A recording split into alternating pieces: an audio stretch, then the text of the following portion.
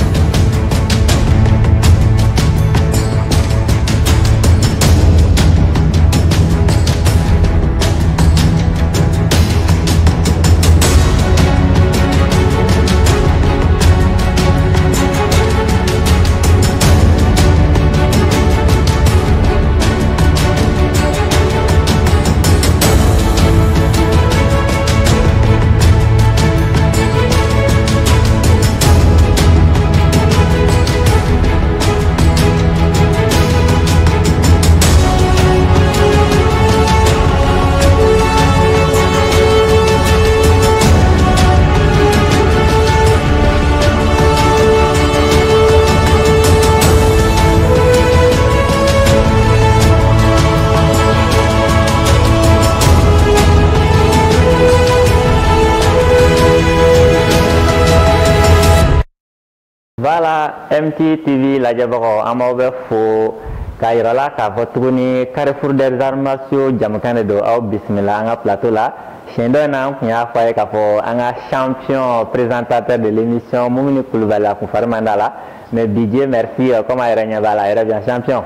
ça va alhamdulilah ça va la santé bi ka fisa kosɛbɛ an bɛ ala barika voilà super donc a yɛrɛ ɲɛ b'a la bi kɔni ka fisa kosɛbɛ o tumana i b'a yɛrɛ prendre le volant de l'émission pour que ka min ye carrefour des arts martiaux farikolo ɲɛnajɛ senfili n'a bolofili ta kunnafoniw donc an bɛna continuer ka kunnafoniw di ka taga ni ala sɔnna o tumana bi ta ye jumɛn an bɛ taa yɔrɔ jumɛn bi o la in na an bɛ dojo kan un na kan un n'o ye aikidokɛlaw ye n'u ka foroba entraînement ye u ka jɛn ka baara n'o ye entraînement collectif ye d'accord an ni aw ni ne an ka jɛn ka taa o lajɛ donc olu fɛ yen kurukafili ni meleke quoi k'i minɛ k'i fili a f'i kaman ka bɔ i ɲinɛ ma ee wa o tumana n'aw ma teliya a ko bɛɛ bɛ fɔ aw kɔ an ka taa nin ko in lajɛ ɲɔgɔn fɛ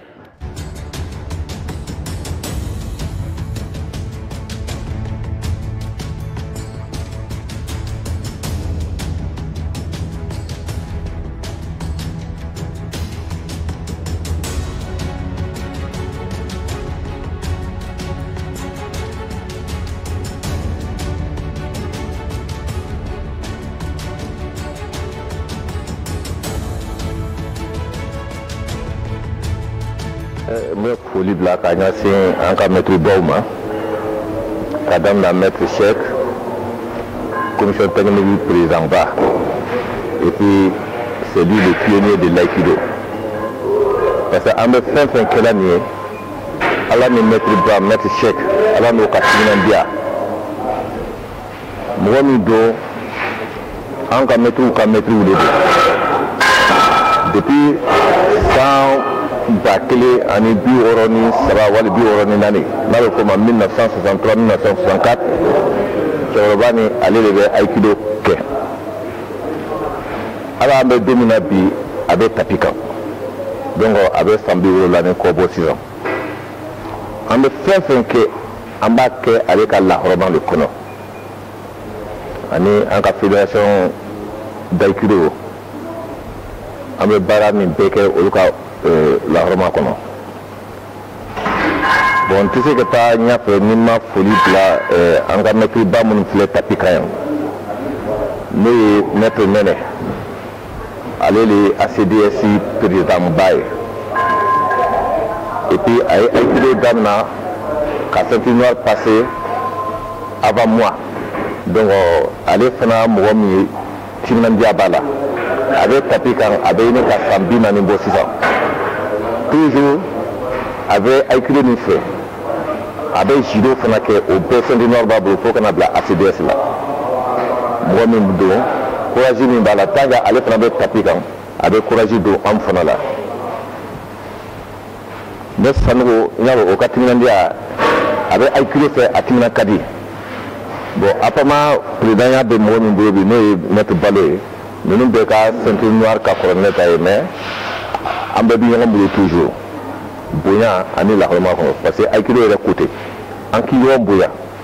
parce que art martial ni bonya t'a kɔnɔ a foyi tɛ se ka marcher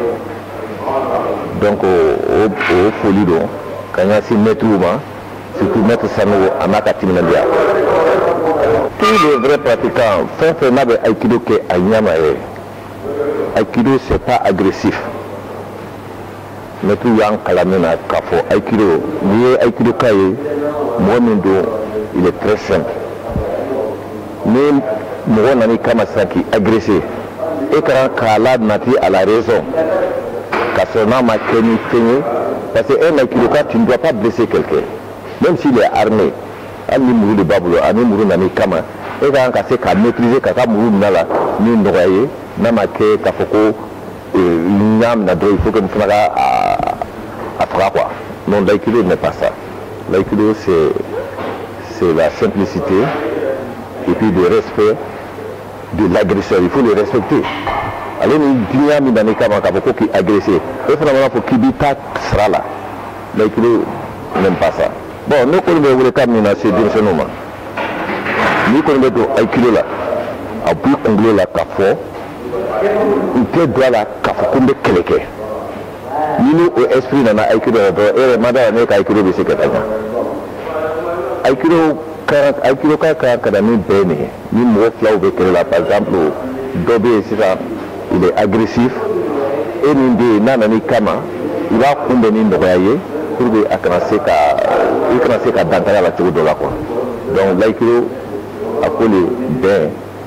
la paix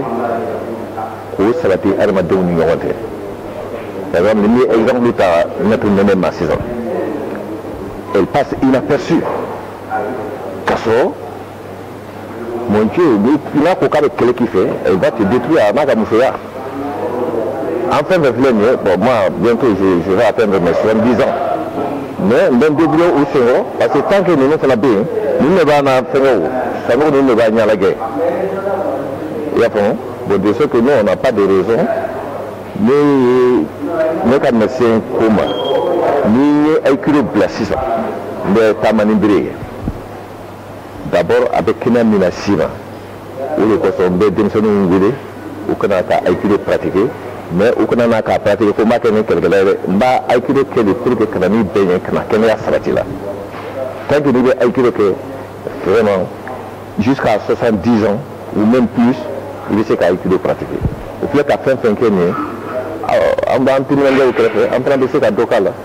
Bon ne ye aikido daminɛ dans les années 80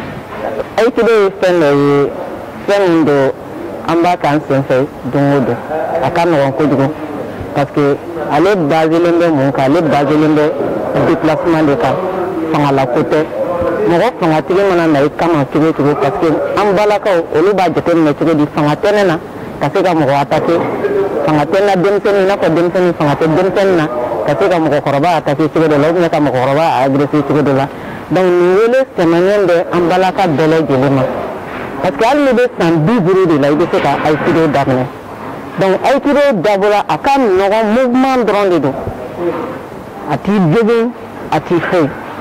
donc an ka tan dɔ sɔrɔ parce que a ka ɲi an ka kɛnɛya ma an ka tan dɔ sɔrɔ an ka se ka na a kɛ musow n'u ko k'u bɛ programme kɛ u ka programme u ka plan a ka ɲi kojugu parce que musow bɛ baara caman de kɛ ɲɔgɔn fɛ tile kɔnɔ donc an k'a lajɛ ka heure kelen dɔrɔn ɲini ka na ka na aikido kɛ a bɛ fɛnba de fara an si kan ani an ka kɛnɛya kan parce que n'i ka kɛnɛ i bɛ sijan sɔrɔ n'i ka kɛnɛ i bɛ lafiya sɔrɔ n'i ka kɛnɛ i bɛ se ka fɛn caman kɛ donc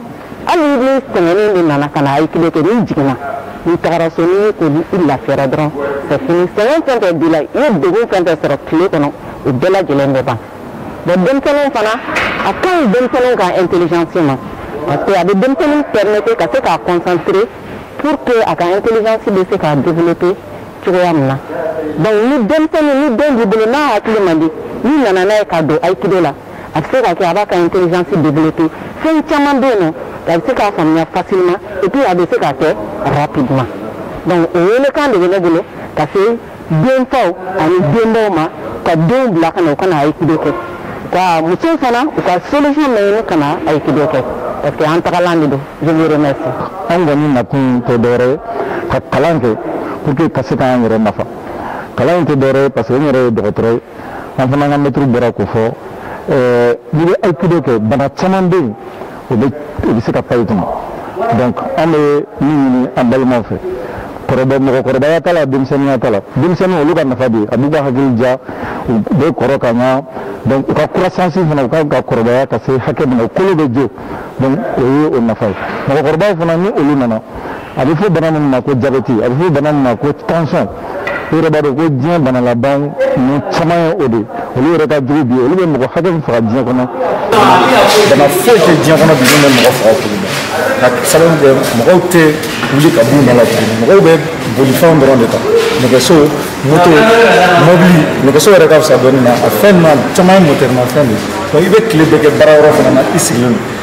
i bɛ dumuni minnu kɛ ni o ye sukaromafɛnw ni o ye kɔgɔmafɛnw ye fɛn ninnu bɛɛ lajɛlen bɛna sigi farikolo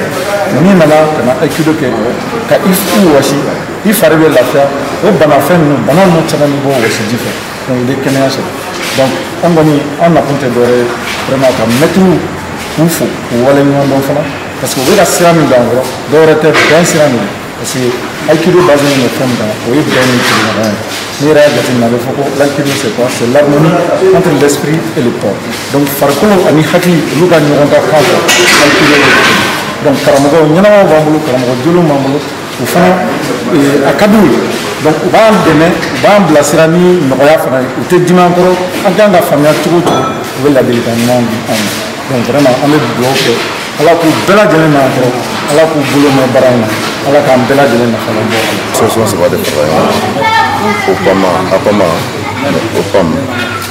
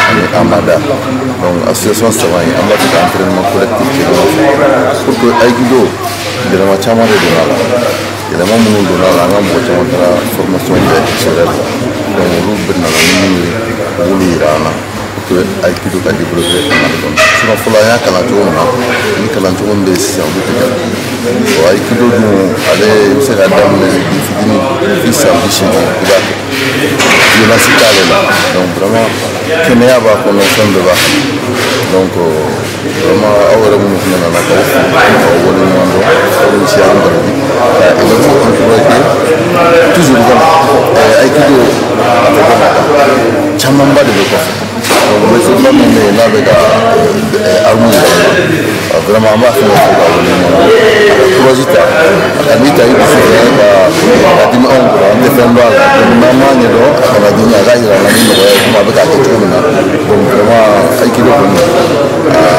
ne ma fɛn ba ye parce que a ye ne lase yɔrɔ caman yɔrɔ tagaw ni fɛnw a ye ko in lase bɛɛ la vraiment tulonkɛfɛn tɛ quoi ok an balimaw i n'a fɔ aw bɔra ka lajɛ cogo min na bi an tun bɛ dojo kan 1 na ka bɛn n'u ka ladala entraînement ye mun bɛ kɛ tile tan ni duuru tile tan ni duuru